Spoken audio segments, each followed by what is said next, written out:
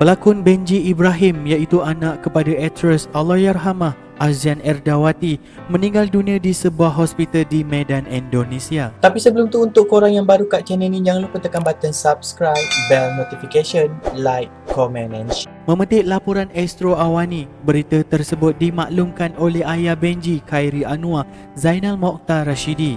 Band panggilan buat Benji meninggal di hospital Medan, Indonesia akibat asma hari ini.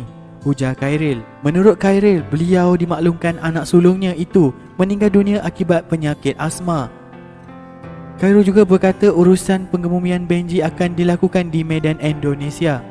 Pada 2017, Benji dijatuhi hukuman penjara 11 tahun di Indonesia atas kesalahan cuba menyeludup dadah jenis syabu. Sama-sama kita sedekahkan Al-Fatihah kepada Allah Yarham, Benji Ibrahim dan juga kepada ibunya Allah Yarhamah Azian Erdawati.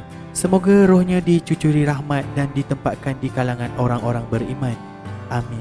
Dan jika anda sukakan video ini, jangan lupa tekan button subscribe, bell notification, like, comment and share.